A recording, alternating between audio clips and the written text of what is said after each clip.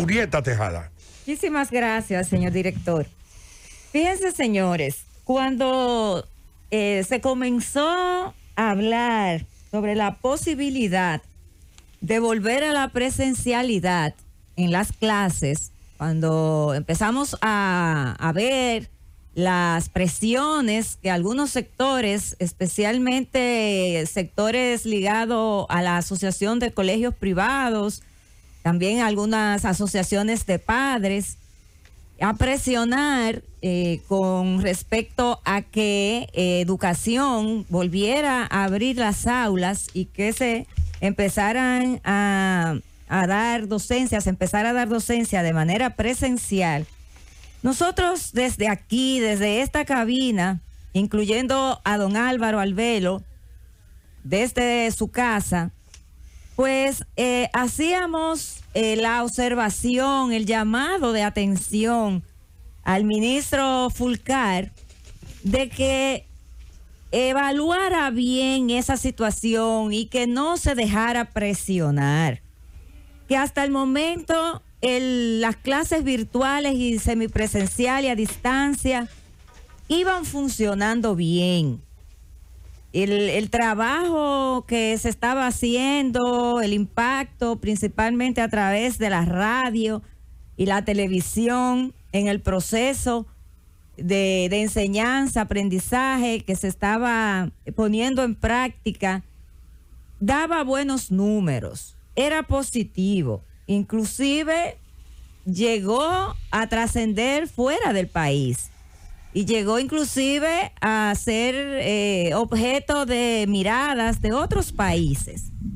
Eh, además, eh, decíamos que para lo que quedaba de clases ya del periodo lectivo del 2021 y lo que significaba en términos de logística y de costos que siempre hay, para montar de nuevo ese, ese, esa semipresencialidad, que las, que las personas volvieran, eh, perdón, que los estudiantes volvieran a las aulas, no valía la pena. Sobre todo, también el riesgo que esto significaba. ¿Por qué? Porque teníamos una, un plan nacional de vacunación que apenas iniciaba. Y que todavía está en pañales. ¿eh? Y al día de hoy todavía está, eh, en términos de, numérico, en cuanto a población, todavía es mucho lo que... Menos de un 10% de la población nacional. Todavía se mantiene en esos niveles. Entonces, en aquel momento, apenas iniciaba ese plan. Pero eh, el Ministerio de Educación al final decidió acceder a esos sectores, eh, empezó a trabajar, a echar a andar toda la logística, todo lo que eso implicaba. Eh, se incluyó en esa primera fase a los docentes que no, no estaban previstos a, vacunarse en ese momento. Se incluyó que además, aquí abro un paréntesis y coincido con Nayib, en el sentido de que me parece que esa eh, eso, eso permitió abrir la brecha. ese análisis que hacían allí hoy de, que muchos sectores empezaron a presionar entonces ahora al Plan Nacional de Vacunación, a las autoridades de salud y que de alguna manera ha afectado el, el, el plan como fue concebido, que además también hay que decirlo, que fue muy bien concebido, muy bien estructurado eh, se debió precisamente a esa primera, digamos, excepción que se hizo de incluir a los docentes. Todo para poder eh, abrir las clases de nuevo de manera presencial. Y no es que tú lo hayas dicho, pero eh, eso, nada de eso le quita brillo a la idea original, una idea formidable, revolucionaria del profesor doctor Roberto Fulcar eh, que salvó el año escolar. Porque independientemente de que ha, habido fallas y que tal lo cual logro, bueno, en el numérico eso es otra cosa. Pero eh, el trabajo, el trabajo eh, hecho de esa manera salvó el año escolar y fue un trabajo que él ideó, ¿verdad? Y claro, un equipo que le ayudó, pero es, es una idea de él. haber, haber, haber llevado a cabo eh, esta, esta, esta acción educativa, eh, que fue extraordinaria y que nadie pensaba en eso. Y algunos si pensaban en eso decían, pero eso es un fracaso, eso no puede ser. Y ha sido, ha sido un éxito. Ahora, eh, que en la parte final esto variara, se debe fundamentalmente a las presiones, a las presiones no solo de grandes intereses, de medianos intereses y de mucha gente y muchos padres protestando y, y ahora tienen el problema del virus creciendo. Pero bueno, lo que te quiero decir es que llegó un momento en que, no, no, no, hay que abrir, hay que abrir, hay que aperturar, aperturalizarlo todo. Vamos arriba, eh, fiesta y mañana gallo. ¿Entiendes? Entonces, eh, eh, toda esa presión, ¿qué hizo? Bueno, hizo que se dividiera el programa porque no está eliminado el programa de, ese tipo de educación. Sigue vigente a través de los diferentes medios que siempre se han usado. O sea, no ha sido un fracaso, ha sido un éxito. Totalmente de acuerdo con usted, don Álvaro. Así es, esa modalidad que, fue lo que salvó el año escolar, fue, ha sido y sigue siendo un éxito. Totalmente de acuerdo. Precisamente por el éxito que tuvo desde un principio y que sigue teniendo, es que nosotros eh, planteábamos que no debía de abrirse la, eh, la, clase de manera presencial.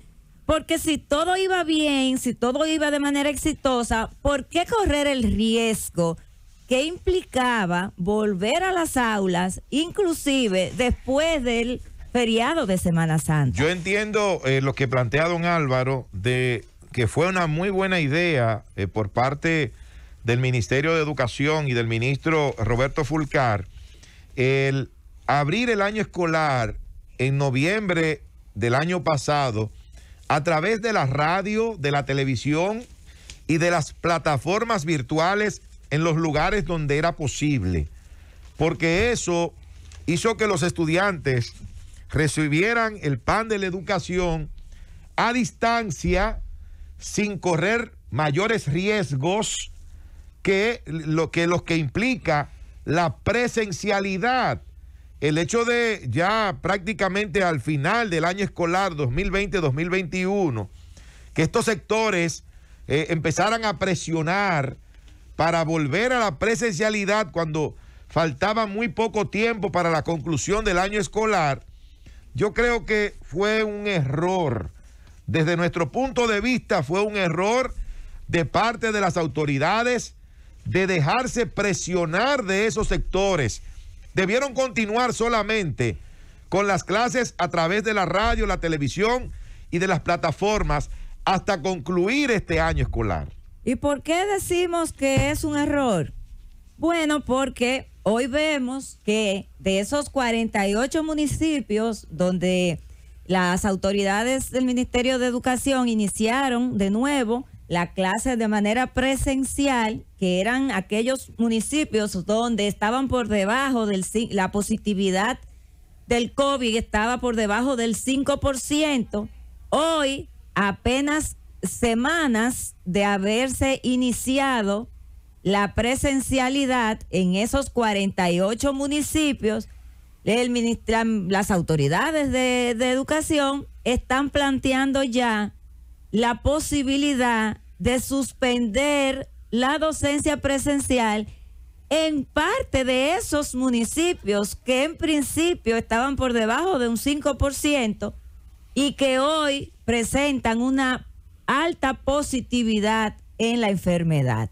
Hablamos, mi querida Julieta, hablamos, eh, se está repitiendo ya, hablamos de presiones. Hay que tomar en cuenta que llegó un momento en que ya las presiones eran políticas eran electorales, eran de simpatía.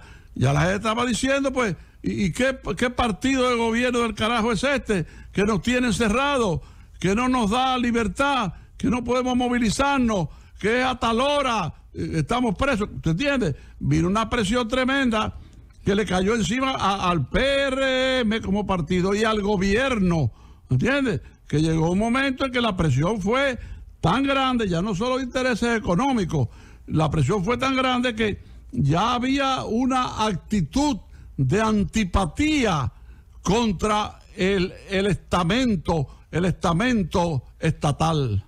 Entonces, bueno, ¿qué está pasando ahora? Está pasando lo que nosotros habíamos advertido, don Álvaro, que era muy probable que si nos arriesgábamos a abrir las clases, a volver a las aulas, pasaría esto que está, estamos viendo hoy, que era muy probable que las autoridades tendrían que volver a echar para atrás ¿Por qué? Bueno, porque es que abrimos recién finalizando un asueto de feriado de Semana Santa, donde hubo un desenfreno total de las personas, donde las probabilidades de contagio eh, eran muy altas.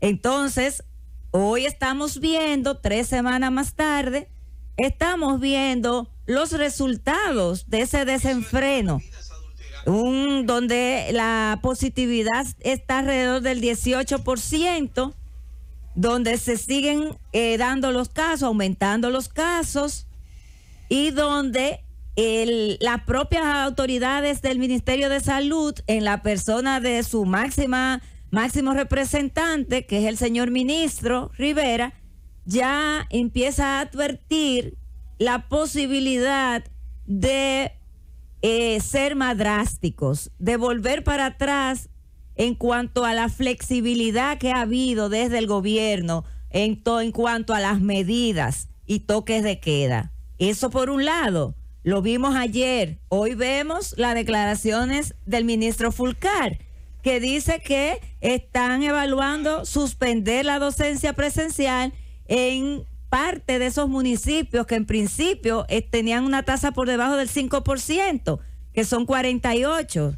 Entonces, ¿qué nos dice esto? Nos dice que el virus está latente, que los niveles de contagio siguen aumentando y que nos perdón, y que nosotros todos teníamos razón que además solo nos movía el interés que nos mueve siempre y a todos de que las cosas salgan bien, porque si hay un equipo, si hay un medio de comunicación que ha apostado 100% al éxito de este año escolar, ha sido esta Z101 y ha sido el gobierno de la mañana. Entonces, nosotros nos movía simplemente el interés de que las cosas funcionaran bien.